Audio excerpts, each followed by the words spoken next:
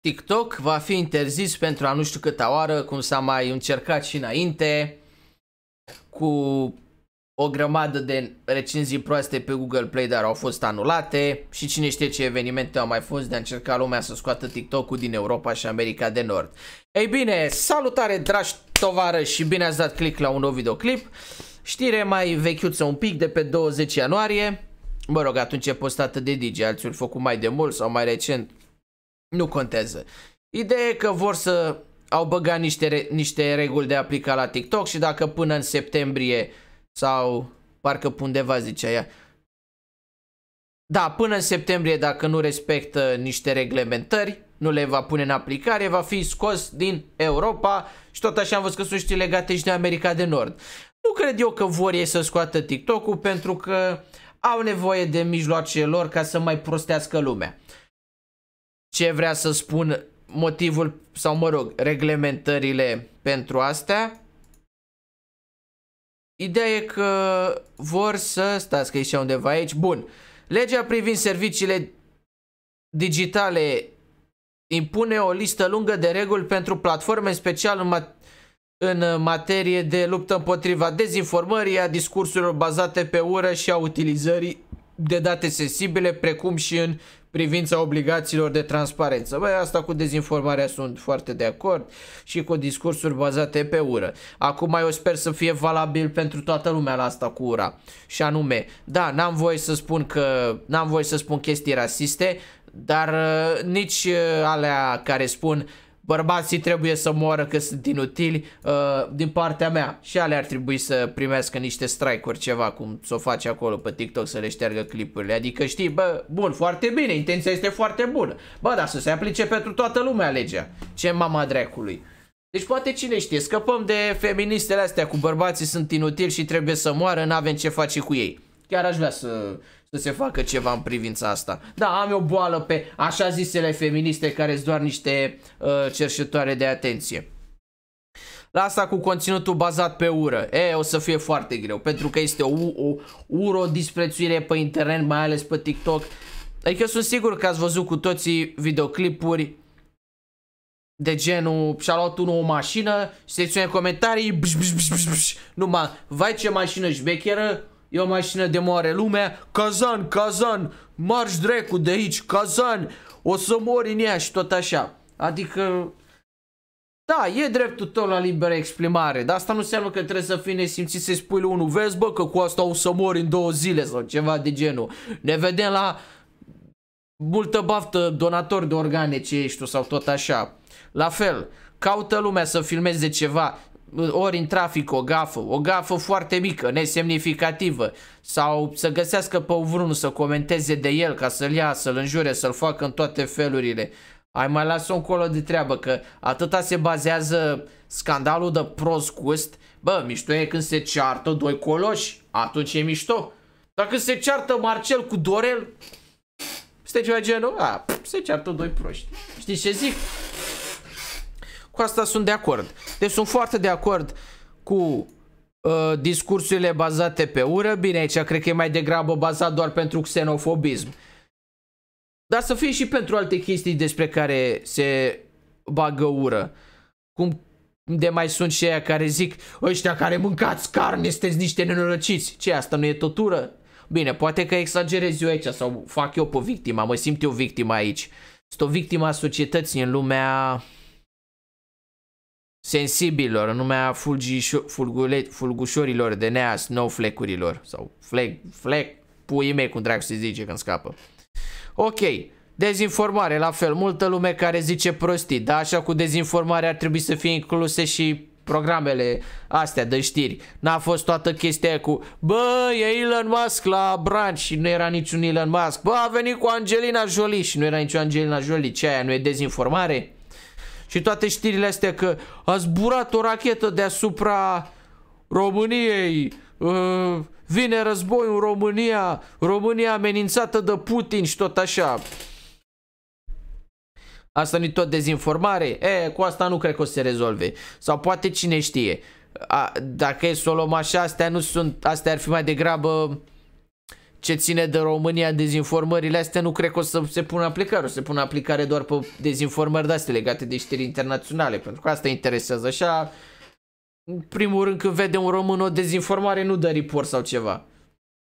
Dă report la alte chestii. În fine, hai să nu deraiem de la subiect. Ok, ce am mai zis? Deci bazat pe oră și a utilizării de date sensibile. Bă, asta oricum e deja mult prea sensibil, TikTok-ul, să fim serioși. Adică nu prea poți să postezi nici măcar videoclipuri cu wrestling. Le vezi pe YouTube, le vezi pe Facebook, pe Insta, nu, pe TikTok. De-abia, de-abia dacă poți să vezi doar intrarea, intrarea lui unul în ring, că dacă pui, nu știu, un, un montaj cu manevre de wrestling, gata, ți-l dă jos ca activități periculoase. Hai mai lăsați-mă pușca mea în pace. Ok? Și să fie de transparență. Așa, precum și în privința obligațiilor de transparență.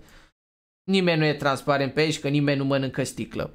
Sau mai sunt dăia fachiri care mănâncă sticlă sau cum li, s li s-ar spune.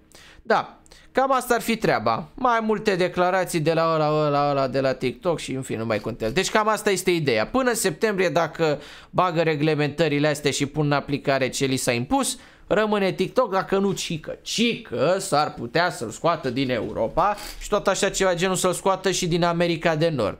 Eu nu cred că își doresc ei să scoată TikTok-ul pentru că au nevoie de o societate cât mai îndobitocită. De ce spun asta? Pentru că cu cât populația ta e mai dezorganizată, mult mai împrăștiată, se ceartă între ei, sunt foarte fraieri, nu știu să se informeze, n-au informații și informația înseamnă cunoștința înseamnă putere, automat că poți să faci mai ușor chestii ca și stat. Adică, uite, de exemplu, cum e la noi. Se uită lumea la televizor cu milioanele, cred toate mizerile de acolo și uite, în Franța, în Spania, lumea ieșea de curând la proteste cu milioanele. La noi, câteva sute pe la victorie. Înseamnă că oamenilor le convine că n-au apă caldă în România, nu doar în București. Și la Ploiești și la Timișoara și mai multe ori și probleme cu apa caldă. Nu au, cum să spun, nu le mai ajung banii, s-au scumpit toate, înseamnă că le convine. Singurii care au protestat și au făcut ceva în România anul trecut, știți cine au fost? Șoferii. Că s-au bă, că ajunsese benzina aia cea mai ieftină, cea mai ieftină benzină de aia, cred că nici n-a văzut zeamă de dinozaur, a fost mai mult apă cu colorant, cine știe, glumesc și eu aici, ajunsese pe la vreo 8,60, adică cum să spun, 2 euro aproape. Mă, mai era, da, ați prins voi ideea, preț record istoric pentru benzină. Acum au ieșit șoferii și au blocat benzinăriile, s-au dus toți și pentru asta șoferii mei, vă respect pe toți. Șoferii, bun.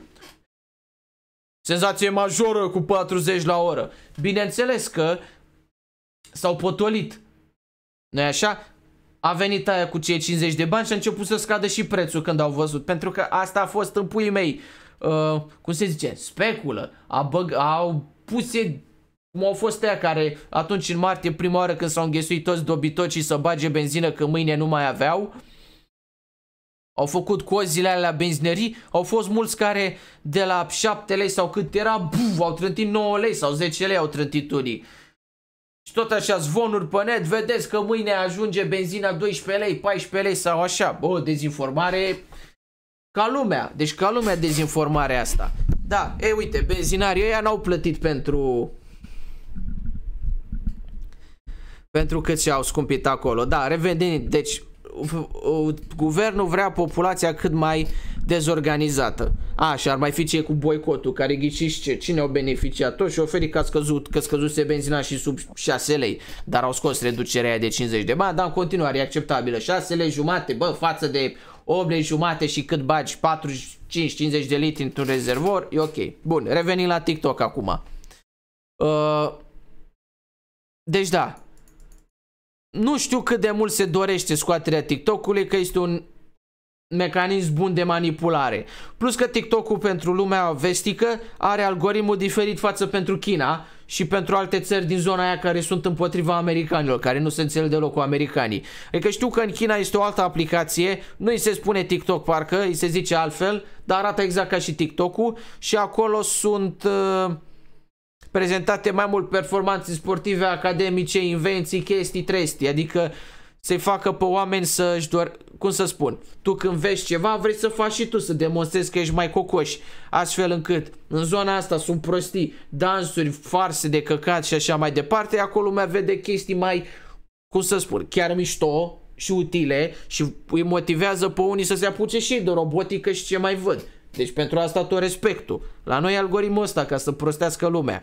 Te vezi numai dansuri, certuri, uh, prostii și cerșeală. De exemplu, Florin Mândru, cerșetor mai mare decât Artur de la Ceptura, că și ăla e un cerșetor și nimic mai mult de atât. E amărât, dar e și cerșetor ca lumea. Nu e de încredere nici ăla. Dar Florin Mândru, pui mei, cerșește bani după bagă la păcănele. Hai să bem o apă udă ca păsărica ta.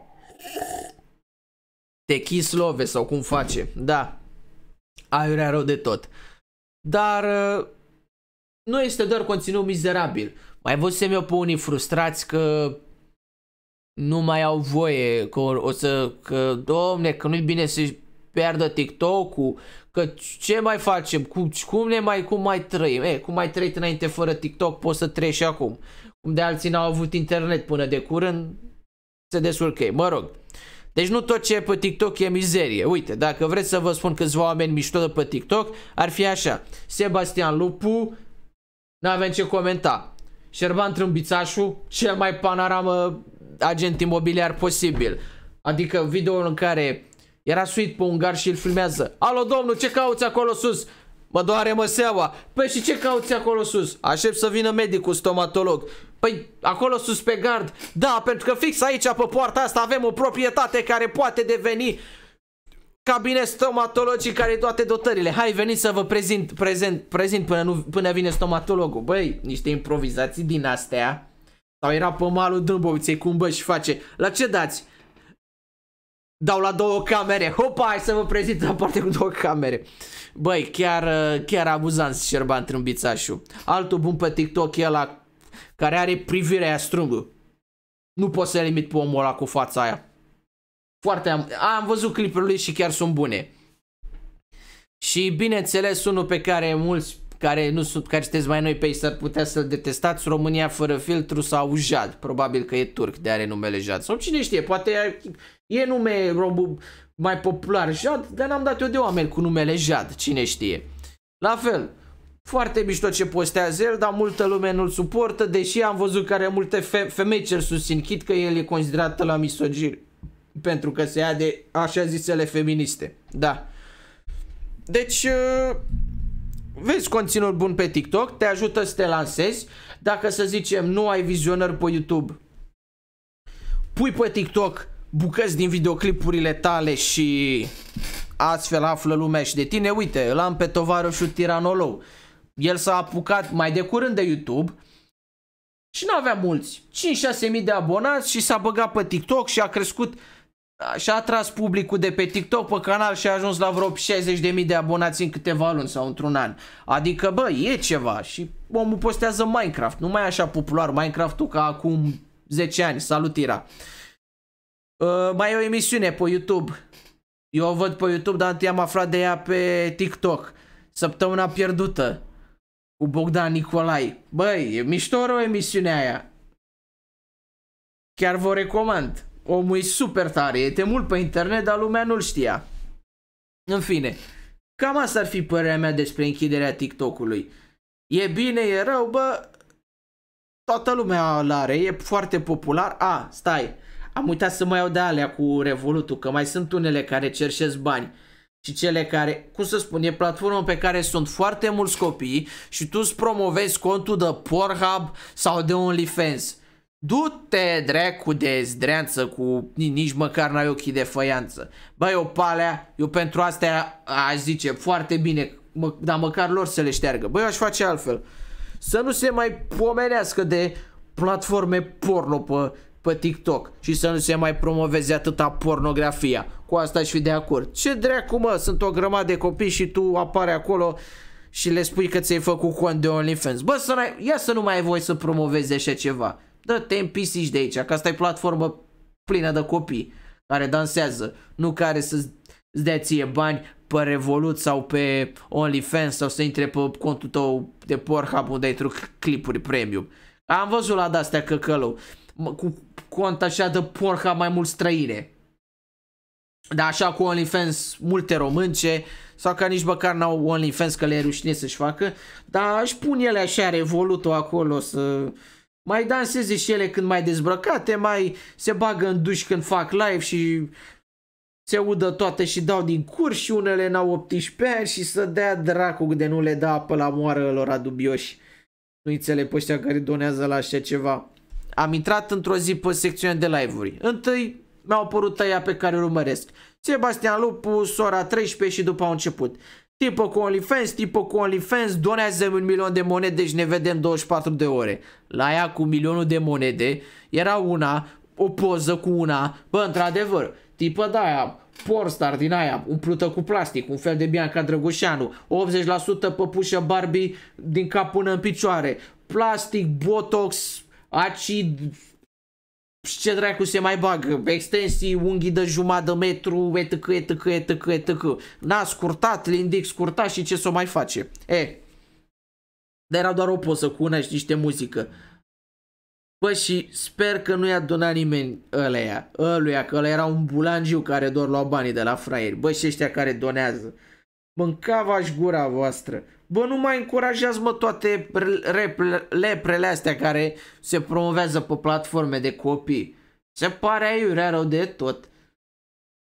Dă-vă încolo, adică, știi, în loc să, cum să spun, în loc să te duci să-ți faci o gagică, tu o plătești pe una să o vezi dezbrăcată. Adică tu plătești pentru pornografie care e gratis.